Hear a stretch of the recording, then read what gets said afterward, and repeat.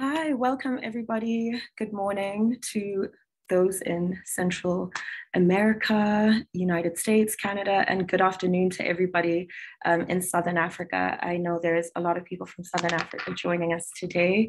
Um, thank you, Brennison, for your introduction and to Women's Advocates for having me. And thank you to um, the ASL interpreters. Um, we appreciate you being here. So welcome to sexual violence and international perspective because personal thoughts from a decently traveled activist with mainly Southern African perspective who has dedicated a year of her life to learning USA best practices and hopes to use a fusion of those two things to make an impact in her home country was way too long and not as catchy. Um, Brennison, your title is much better. Thank you. um, my name is Nature Inger. I'm a human rights advocate from Botswana, and I'm currently in Minneapolis at the University of Minnesota, specifically the Humphrey School of Public Affairs. And I have the great honor of being part of the Hubert H. Humphrey Fellowship Program. I'm in the Law and Human Rights Department there and I'm here to expand my knowledge on sexual violence and gender based violence, which is the specific field um, that my advocacy is in. Um, disclaimer before I begin, I always like to start with this disclaimer.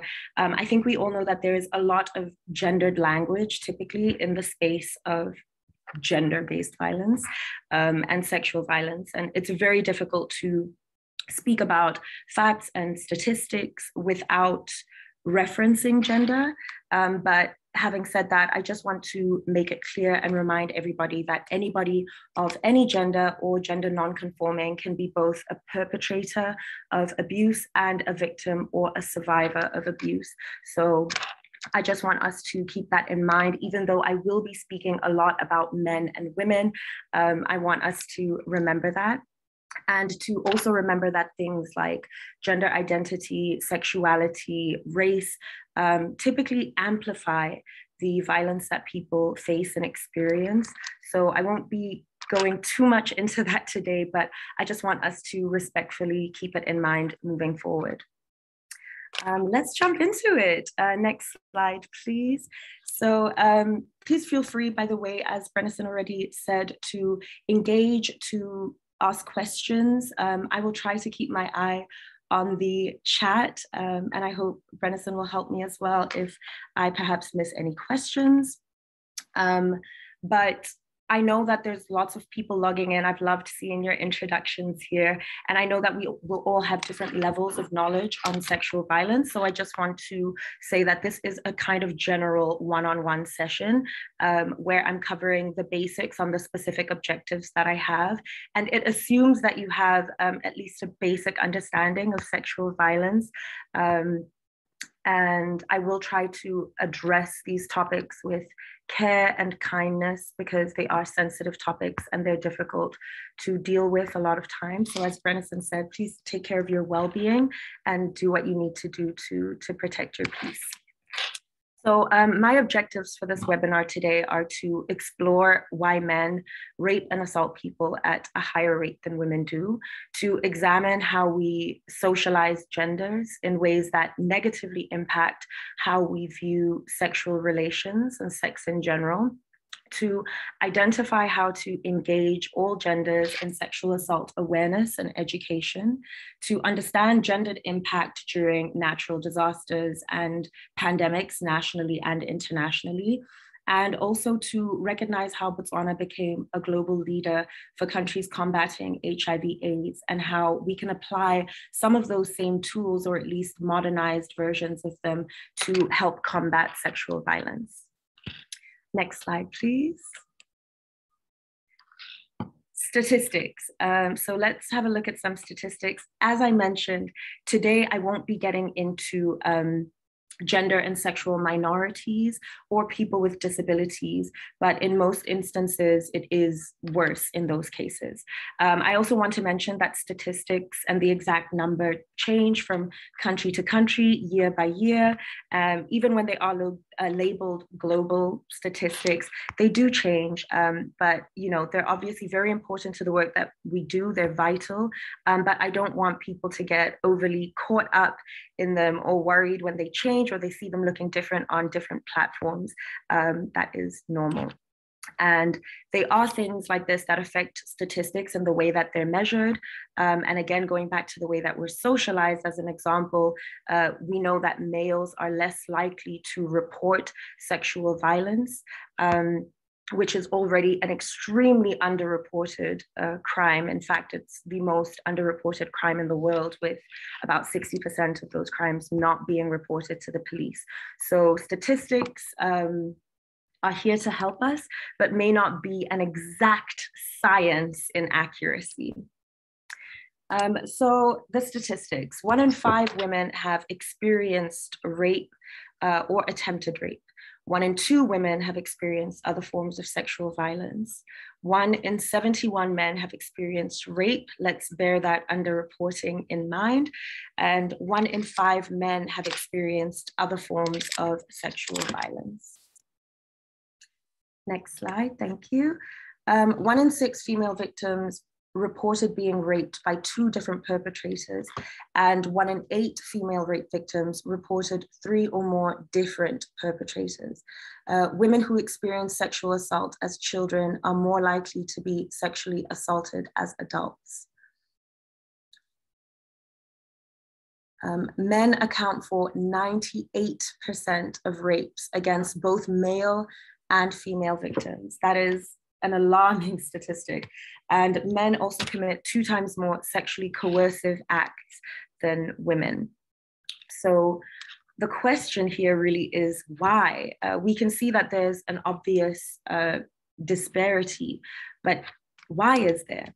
Again, a reminder anybody of any gender uh, or gender nonconforming can be a victim, a survivor, or a perpetrator of sexual abuse. But it's difficult to ignore that these crimes have such an alarmingly uh, different or such an alarming disparity between these genders. So I think that gender is such a major issue in the space of sexual violence, uh, not because of any traits that we may be inherently tied to um, due to the genitals that we're born with, or even the genders that we choose to identify with, but because of the way that we are socialized, depending on our different countries, cultures, societies in general, and the belief systems that attach themselves to that kind of socialization. Um, socialization affects many aspects of our lives, and there tons and tons of studies and research that show um, how much we are affected by this in our everyday life. There's one specific US based study that uh, did a study on children aged five to six that showed that at around five years old, children typically do not notice any gender differences, do not think themselves any less or any better than people of the opposite gender. However, as early as six years old, uh, both girls and boys were more likely to believe that boys were more intelligent. Um, which is fascinating to me. One, one year can make all the difference. Um, this belief obviously goes on to discourage young girls to not pursue careers or even hobbies that are considered uh, more difficult, that would require more intelligence in order to be successful as. And so we see children uh, dropping off from hobbies and careers, for example, STEM, at a young age and creating spaces that make these uh, areas more male dominated. And if this is happening at just age six, then you can just imagine how these sort of gender roles and socializations affect us the older that we get.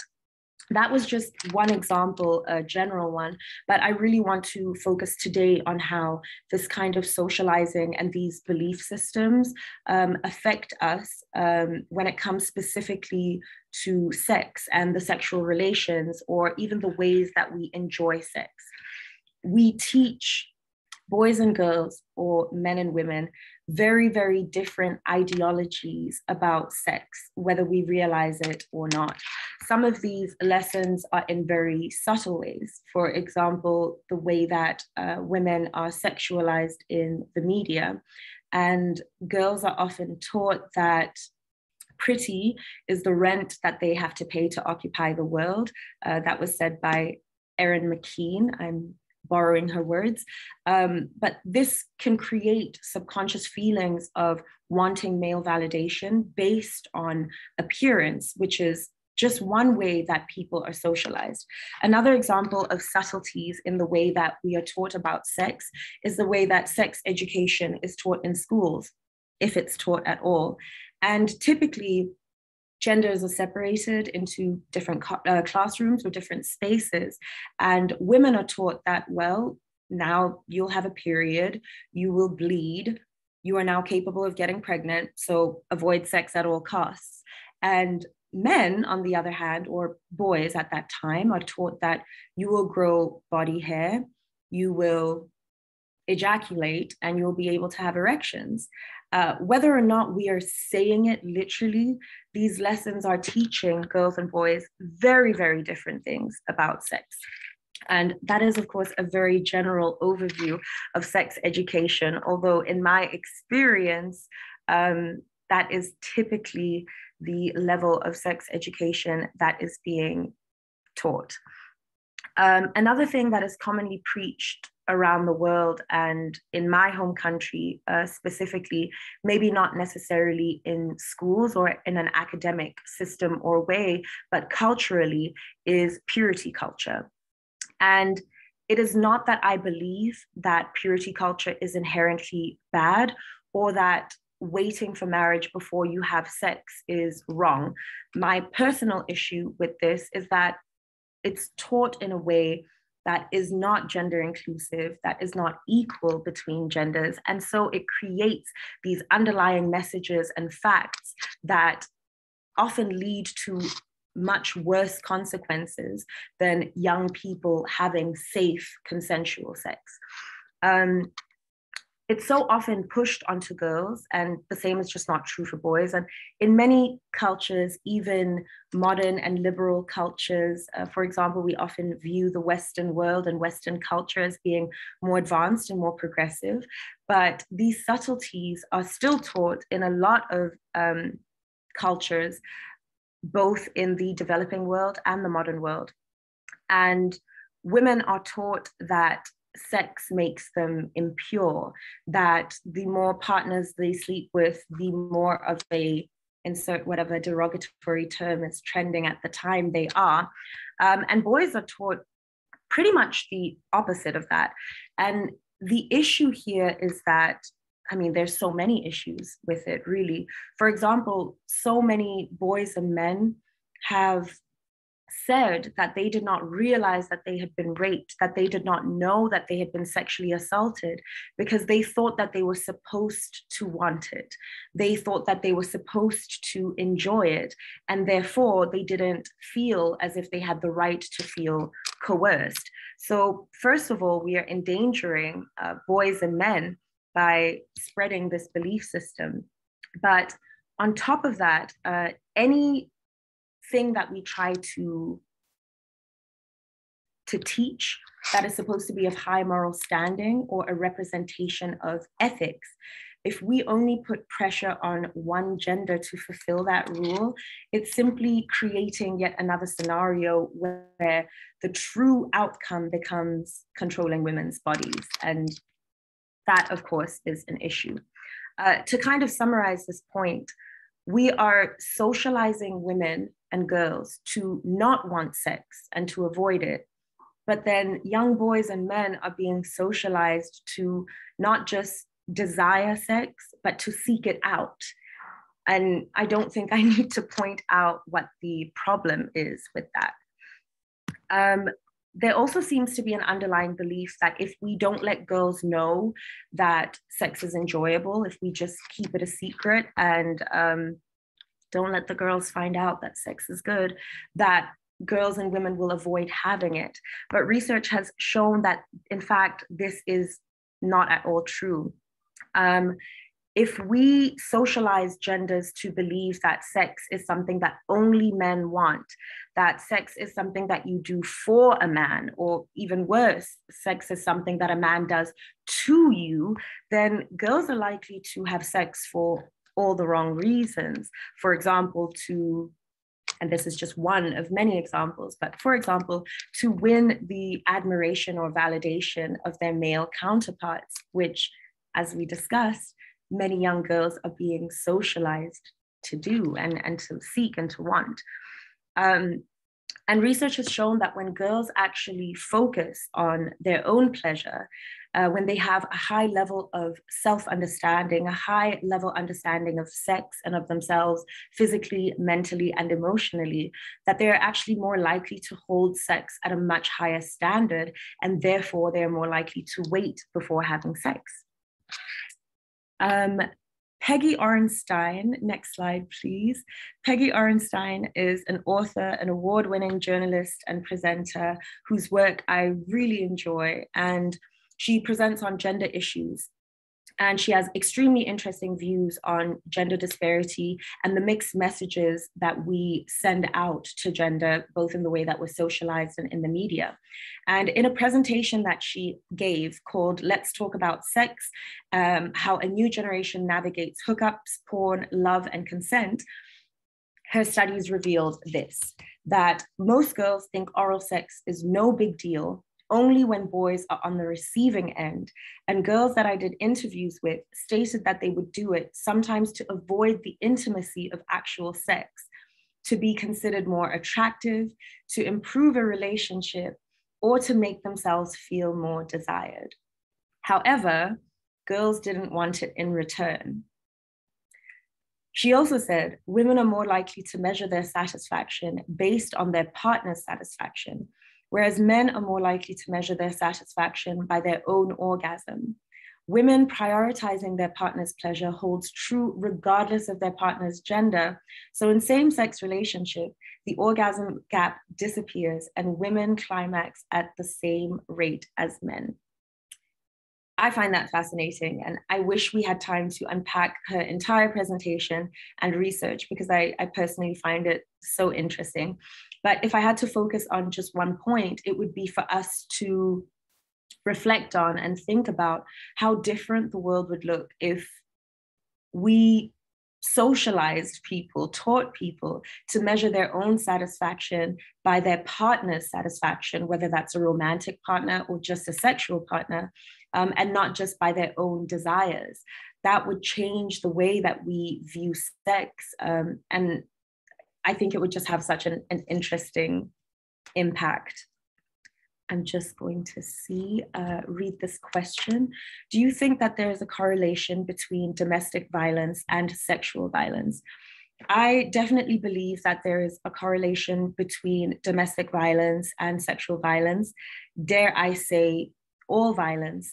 Um, the main pillar or one of the major pillars of abuse is truly power. And that's another thing that a lot of research will show that acts of sexual violence and rape have very little to do with the act of sex itself or the need or desire to have sex and have a lot to do with power. So, any situation where somebody is abusing their power over somebody else um, creates that correlation. And I think that power is the, the linkage between all of them thank you, Wendy, for, for that question. And um, another question, is there any way we can get the resources for the statistics information in this webinar? Yes, absolutely. Uh, you will get this exact PDF sent to you, as Brennison said, and I'm also happy to share um, all of the information I have created a landing page, which I will give that information to Brennison, and hopefully she'll be able to send that out to all of you so that you can uh, look at all of my resources in your own time.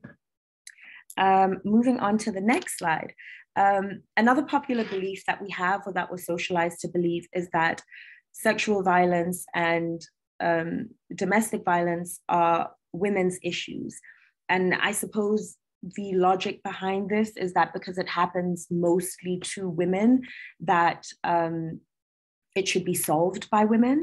But this this belief is one of my biggest pet peeves, and that was the politest way I could think to express how much it irks me.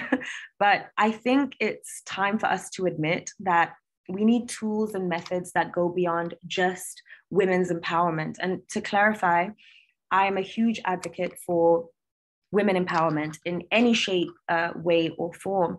However, it just cannot be relied on as the only measure or tool to end sexual violence.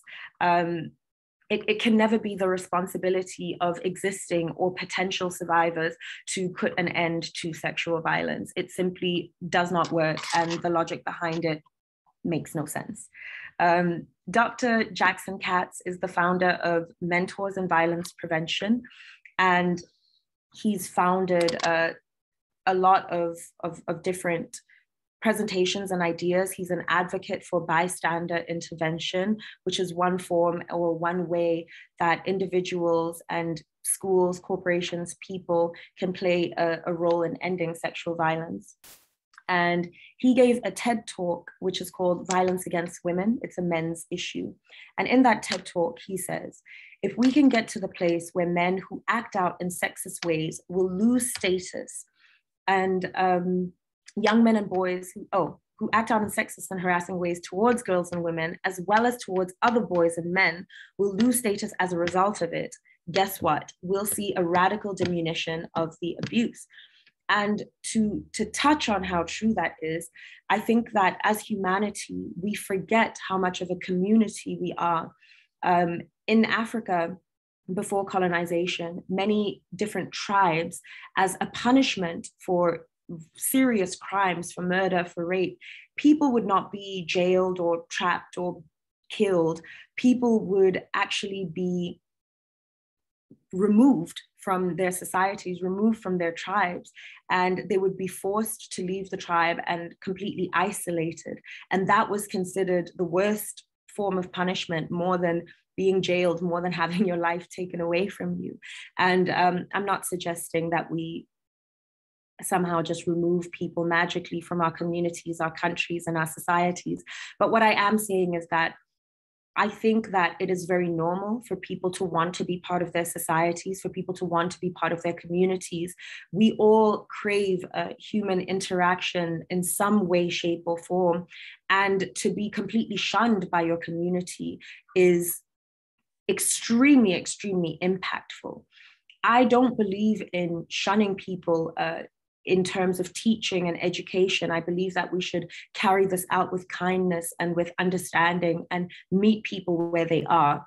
However, I do agree with Dr. Katz that if we changed what is acceptable in society, what things men and people can joke about and say, it would have a positive impact on how we view these things in general.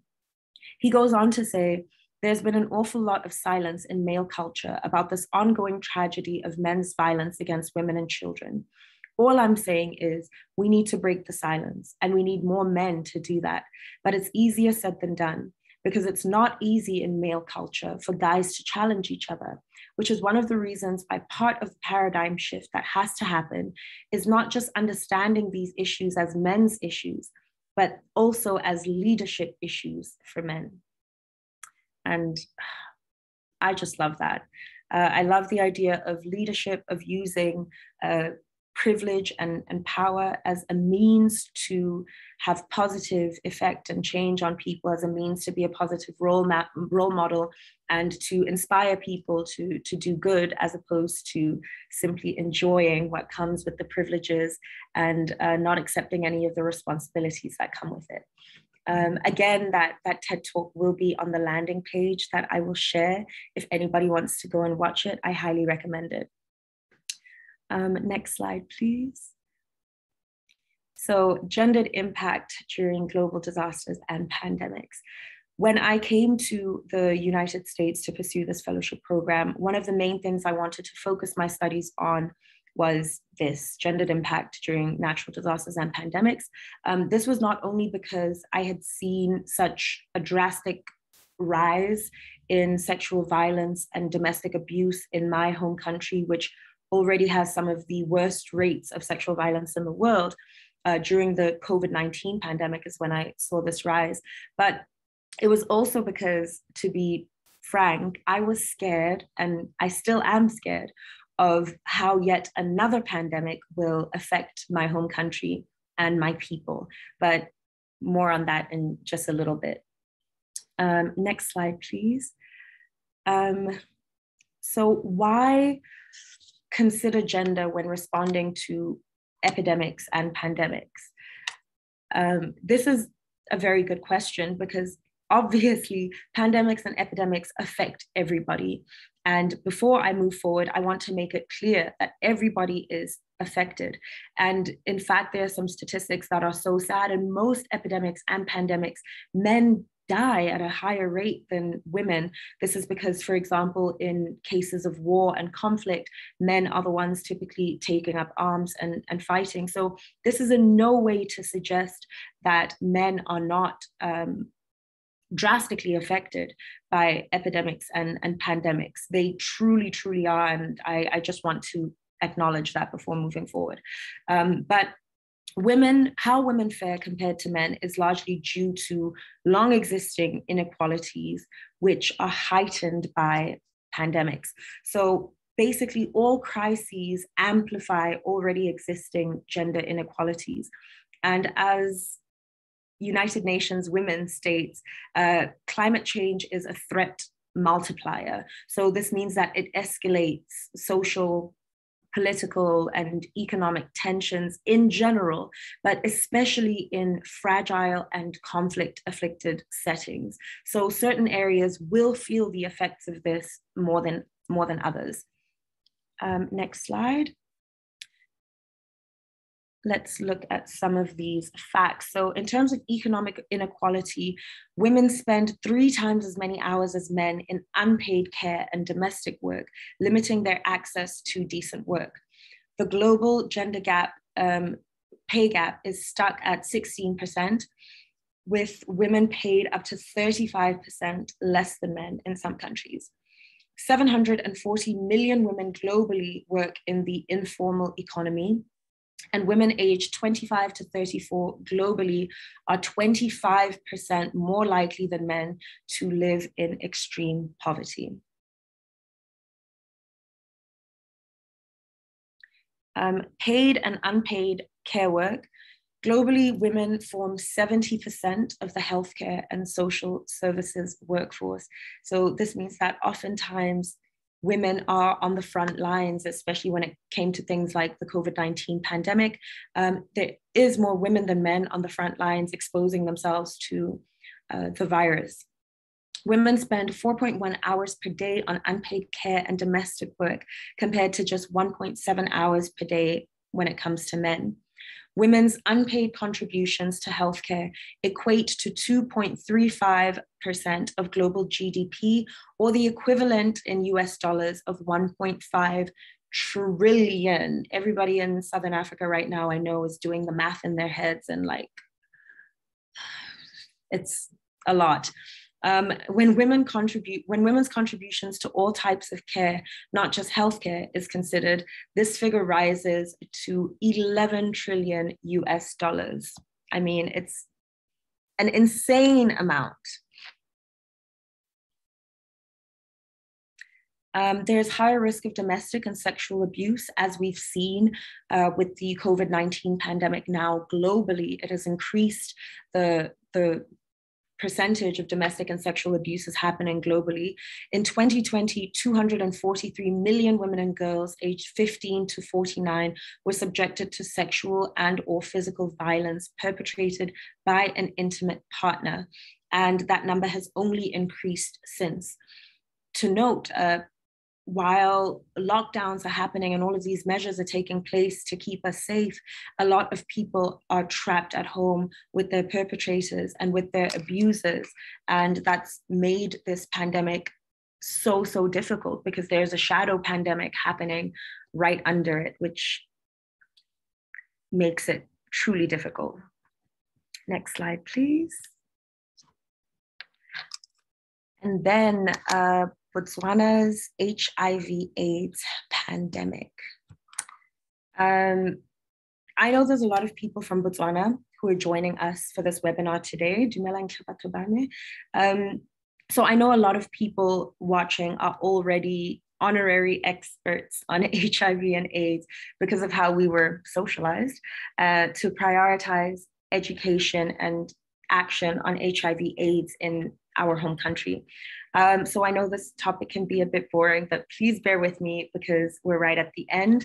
And if you're someone who's watching who does not have a lot of knowledge on HIV AIDS or specifically how it affected not just Botswana, but Africa as a whole, um, I would like to recommend uh, a book called Saturday is for Funerals by Unity Dow and Max Essex. It's a compilation of, of stories uh, of Botswana during the time of the pandemic. And it's a really wonderful compilation of great storytelling and also very relevant scientific explanations. Um, I will make sure to, to write that as well on the landing page for those of you that are seeking these resources after the webinar. Um, but even if you have no interest in reading the book, I'm here to give you the one-on-one. -on -one. So let's begin. Um,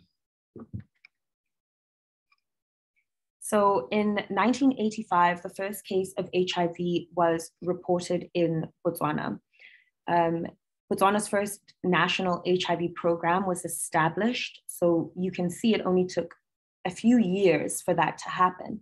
And of course, in 1985, when it was first introduced, there was very little knowledge of HIV AIDS, of um, the root causes, how it was contracted, how it was passed on, etc. Globally, there was very little knowledge. Um, but as you can see, it only took a few years for the first HIV program to be established. In 1998, Festus Mogae became president, and the national campaign to tackle HIV really went full force. Mogae made HIV one of the top priorities of his administration, and he even made a commitment early in his presidency to never give a speech in Botswana that did not mention HIV AIDS. So it was taken very seriously.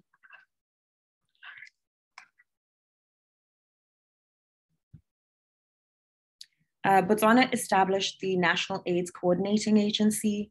It was the first country in Africa to implement AZT as part of the prevention of mother to child transmission, the PMTCT program.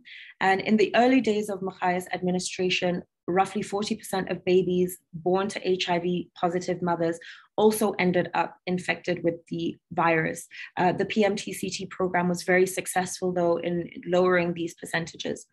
Botswana also became the first nation in Africa to launch a program to try to provide access to HIV drug treatment nationwide. Um, there, Botswana really, really took a, an incredible global stance on this and, and made it a priority. Um, next slide, please. Thank you. I love this picture of His Excellency Festus Mogae, by the way. Isn't that a great picture? Um, President Festus Mogae addressed the United Nations General Assembly and urged international support to address the epidemic. He also urged support for the National HIV AIDS Strategic Plan in Botswana, which encompassed a multi sectoral strategy involving both the private and public sectors, as well as significant investment, from the government itself. Um, I also want to say that he took on a, a non secular approach to dealing with HIV AIDS, which is very important to note for a nation like Botswana, which uh, is quite conservative and typically takes on a Christian approach to a lot of its cultural and societal teachings. And this was, I believe, a, a very progressive move in general, but especially during this time.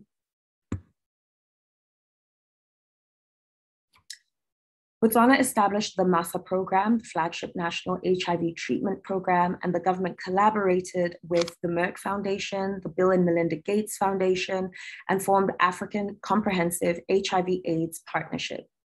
Support from the US government President's Emergency Plan for AIDS and Relief allowed for the development of HIV training and mentorship programs, voluntary counseling, testing for HIV, support for lab services and supplementation of the government's provision of uh, antiretroviral um, treatments. Botswana began routine, non-compulsory opt-out HIV screening in prenatal and other healthcare settings in order to treat as many people as possible.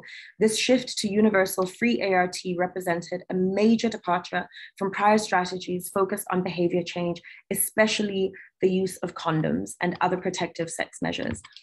Everything that I've said is honestly just a fraction of all of the measures that were, were taken and put in place to create this major national campaign that took place over years with the priority of improving the health and not just the health, but the mindset and the beliefs of people surrounding HIV and AIDS.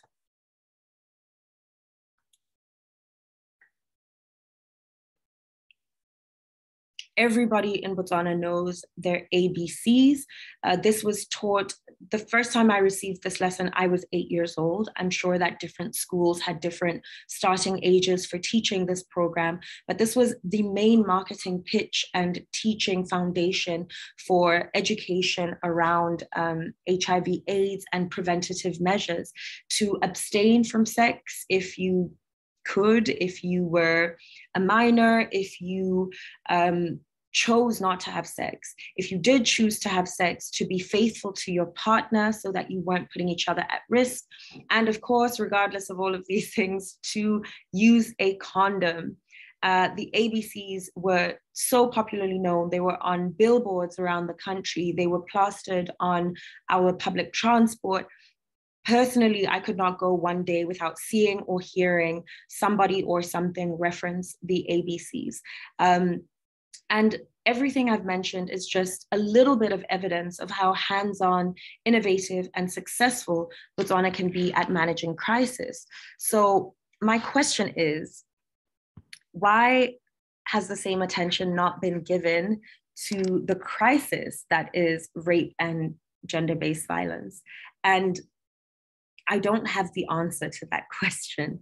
Um, I certainly don't want to suggest that it might be being ignored because many of our societies only prioritize crises when they disproportionately or at least equally affect cisgendered men, uh, especially those in leadership positions. Um, or that some cisgendered men benefit from rape culture and therefore they have no intention of taking practical measures to put an end to it. And since I don't want to suggest that, it leaves me back at square one with no real answer.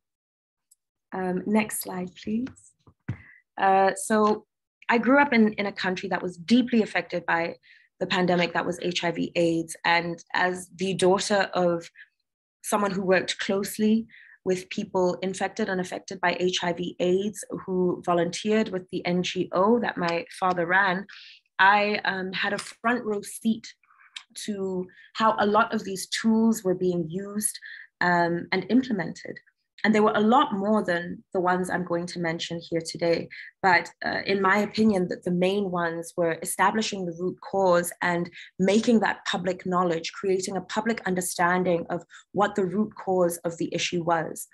And then education. This was acad academic education within schools and other um, teaching places within churches, uh, community education through marketing, through um, teachings in our rural areas as well as our cities, first responder and service provider education to our police officers, to nurses, to doctors, to everybody who would have to deal with this situation as a first responder. We also had changes in policy and legislation, mainly surrounding stigma, uh, laws that were created to protect people from stigma, to protect the health and well-being of people. There was a lot of policy and legislation changes during that time. And we were also able to challenge cultural norms and shift mindsets, which I would argue is the most difficult part of making changes like this is changing the mindset of people, making people prioritize issues, and making people understand the avalanche that cultural and societal beliefs have and how it affects these issues. And this was seen in I mean, in so many ways. We shifted as Botswana from being a nation where talking about sex or even private parts was taboo and almost unheard of, quite a conservative nation, uh, to being a nation that gave out condoms for free, that taught sex education in schools, that ran public campaigns about male circumcision and how it could reduce HIV susceptibility, to ending stigma around uh, people living with HIV and AIDS, uh, which was one of the main focuses really of the public education, and so, so, so many more mindset shifts. Um, I've personally witnessed an entire nation successfully shift to address a national crisis in my lifetime. And I believe that we can shift again. I believe that there's something to be learned from the way that Botswana dealt with this crisis, from the tools that were implemented, from the international help and learning that we took on, from mixing and merging both contemporary tools with a lot of our own traditional values. And I believe that the way that this pandemic was handled is not just evidence that it's possible, but um, that the actual tools, of course, revised, modernized, and specified to the specific issue of sexual violence and abuse in general, um, can be used successfully uh, to, to curb the issue and the crisis that is sexual violence. And I hope to get to see that in my lifetime. I hope to see yet another, not just national shift, but an international shift in how we deal with these issues. Um, last slide in closing, the founder of the Me Too movement, Tarana Burke, said, um, we have to dismantle the building blocks of sexual violence, power, and privilege, which I touched on earlier. And I believe that one of the ways of, of doing that is by educating ourselves and others, uh, recognizing our own individual power and privilege, no matter how small or grand we think it is, and using that to be good leaders um, in our communities, in our workspaces, in our learning spaces, even within our own families. So um, I will take time to look at the questions. I know that there's a lot of them. Um, but just in closing for anyone that might be leaving before I get to the Q and A's, I would just like to thank you for sharing time and space and energy with me today and for allowing me to share some of what I've learned and also some of my personal beliefs with you. Um, if you have any questions and reflections outside of the webinar and you would like to reach me, I welcome you to email me at natureingermanagement at gmail.com. And you, you can also reach out to me on Instagram at I am Nature Inger. Thank you, Galebocha, and, and please remember to take care of your well-being and, and protect your peace um, if this was a difficult topic for you. I'll just go up and see if there's any questions I might have missed.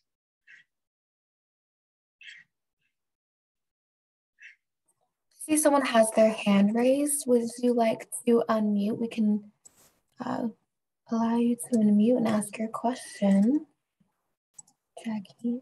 And I'll put some links in the chat to the PowerPoint slides, certificates,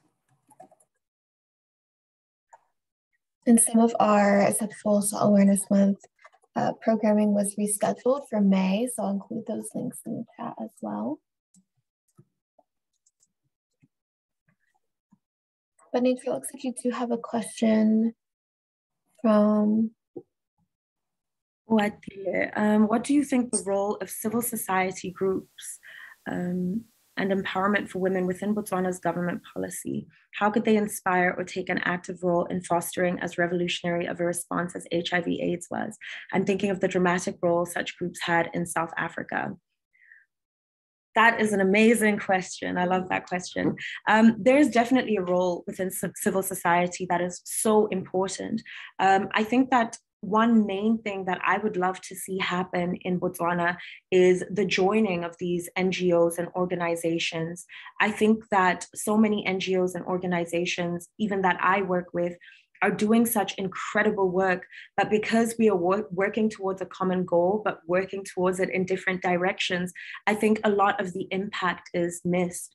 And I would love to see um, organizations take a more partnered approach in Botswana. And that's something that I've been able to see here in Minnesota, organizations um, and NGOs that are not related at all, um, taking partnered approaches, having meetups and Zoom sessions where they share their new findings and statistics, and really just partnering uh, and understanding that they have the same goal and working towards it um, together. I think that that in itself would be something I would absolutely love to see in Botswana. In terms of Botswana's government, oh, there's a knock at my door. In terms of Botswana's government, um, they could inspire or take action, I think, by simply taking action. I think that I am so tired of, um, I have to remember to be extremely polite when it comes to this, but I'm, excuse me, Nature will be back soon. Thank you for sticking with us. You will see in the chat, I put a lot of different resources that Nature mentions, including the TED Talk on violence against women. It's a men's issue. That will also be included in the follow up email as well. Saturdays for funerals, that's also included in the chat, will also be in the follow up email. And then new dates for the other two um, spectrum of sexual violence and shifting to a culture of respect and consent are also in the chat and nature is back with us. Sorry i'm i'm back. Um, yes so i think that there isn't enough action being taken because as i said the government itself seems to be pushing the responsibility of dealing with this issue mainly onto women there's a lot of empowerment conferences and meetings and projects that are taking place, which are important. I do support that. However, in Botswana specifically, I am not seeing any form of, for example, perpetrator rehabilitation, which has been statistically proven to um, ensure that people don't reoffend or it can't ensure that people don't reoffend. But statistically, the number of people, the percentage of reoffenses goes down when action is taken and people are given that intervention.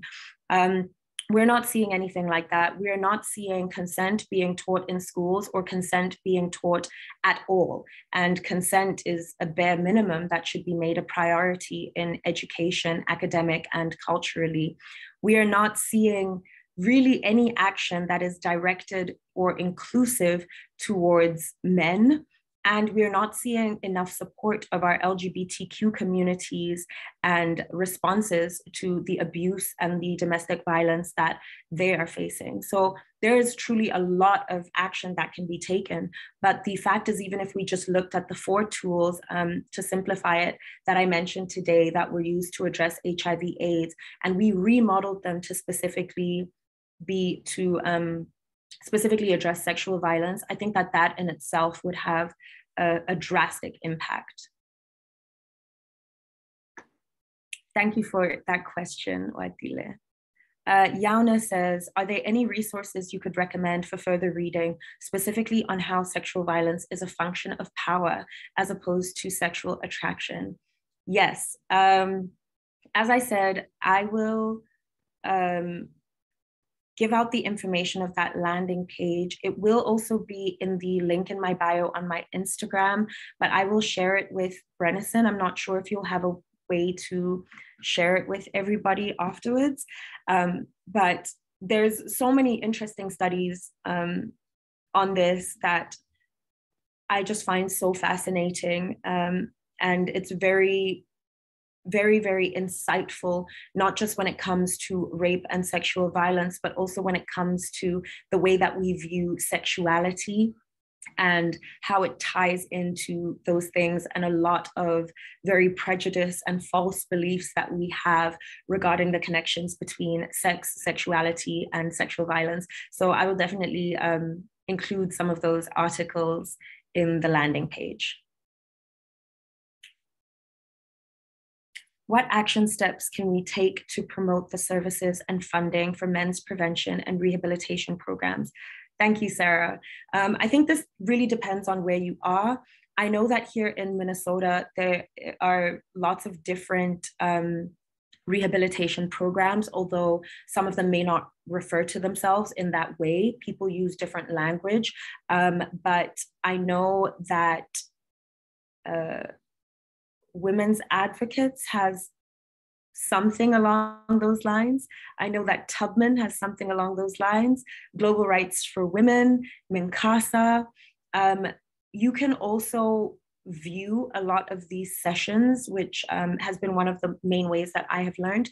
You can actually on the websites of some of these organizations, sign up to view some of these sessions um, with your camera off and your microphone muted and sit in on some how, how some of these rehabilitation sessions work. Um, a lot of these incredible organizations that do this work have donation links and all of this money goes towards not just the rehabilitation of perpetrators but running these organizations and all the different services and tools that they offer so I think that the main steps would be to just maybe sit in on some of those lessons, do research on the different ways and forms that they choose to carry them out. Different organizations will do it in very different ways. So, obviously, different countries will address it in very different ways as well, which is important because cultural context is very important. Um, and yeah, just viewing, watching, reading up on it, and, and donating, I think, are all great action steps.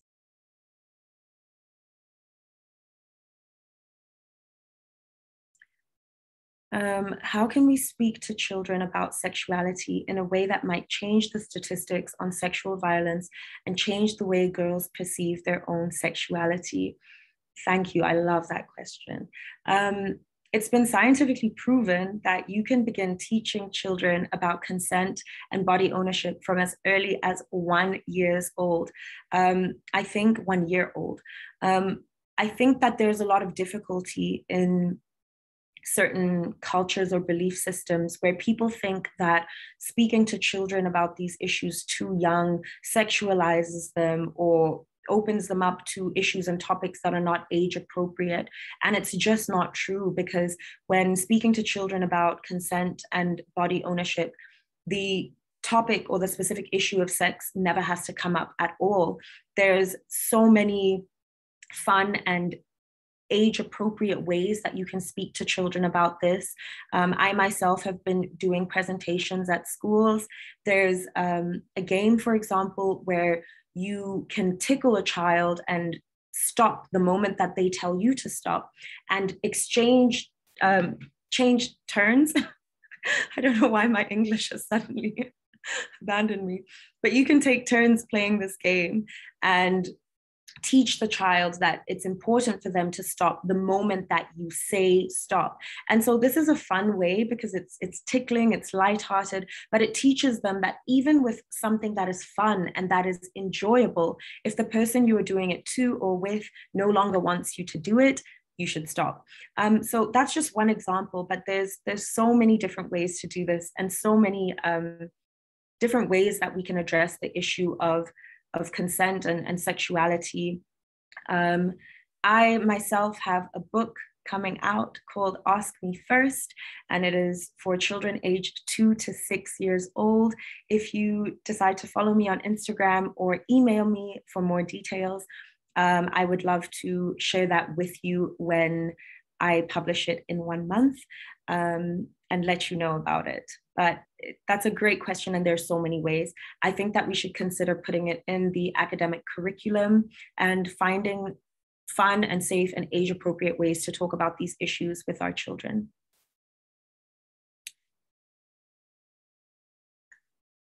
Do you do any work with missing and murdered Indigenous women?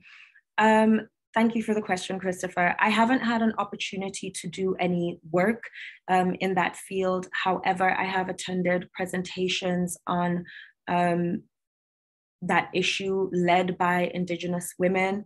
It's something that has really saddened me and inspired me. It's an issue that I care about, but I myself don't work in it. I do try, however, to amplify um, those voices when and where I can. Um, what organizations and individuals are you currently interested in and inspired by in Botswana doing this work? Um, there are so many great organizations in Botswana. Um, some of them may not directly be doing work that is uh, very directly about sexual violence. However, they're challenging cultural norms and doing things that I believe will ultimately contribute to ending sexual violence. So, for example, LEGABIBO is um, a wonderful organization, of course, fighting for the rights of LGBTQ people. Um, there is uh, End Girl Hate, which is a wonderful movement um, that empowers women and girls in Botswana. There are much smaller organizations as well. Uh, Tsholofelo Trust worked with people infected and affected with HIV AIDS and um, many of those people were um, or are survivors of domestic abuse and sexual violence. Um, I could go on and on and on, um, but if you are interested, I would also be happy to write a list of shelters, organizations, and NGOs that I personally um, support and admire in Botswana um, for you to have as a reference.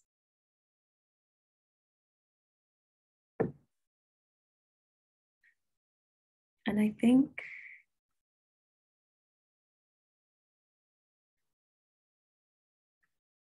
I think that's it for questions. I think that's all of them. Thank you so much, Nature. I'll include your contact information, including your Instagram and your Gmail account in the follow-up email. So there's one one question that that's snuck in there. If you want to answer it, Nature, totally up to you. Um, let me see if I can find it. Um, let me see. I've been reading on the rise of numbers of incels Apparently, the traffic to the websites increased dramatically in recent years. Do you see this being discussed and how is it addressed? Um, I am actually not sure. Um, I know. So for for context, uh, I believe that incel is a people who define themselves as unable to get a sexual partner despite wanting one. Um, so I'm not sure. I, I, I didn't know that there's been a dramatic increase in this issue. I know I definitely do not see it being discussed, and I don't know how it's being addressed. Um, but I think that if it is an issue, it's not an issue that should have anything to do with sexual violence because being unable to get a partner despite desiring one is obviously not a justification of taking advantage of somebody. So I don't know enough about that topic to speak on it. And I'm afraid I can't give you an in depth answer, but you've piqued my interest certainly, and I'll look into it. Thank you so much, everyone, for being here. Thank you again to our interpreters and to Nature. I'll go ahead and stop the recording here.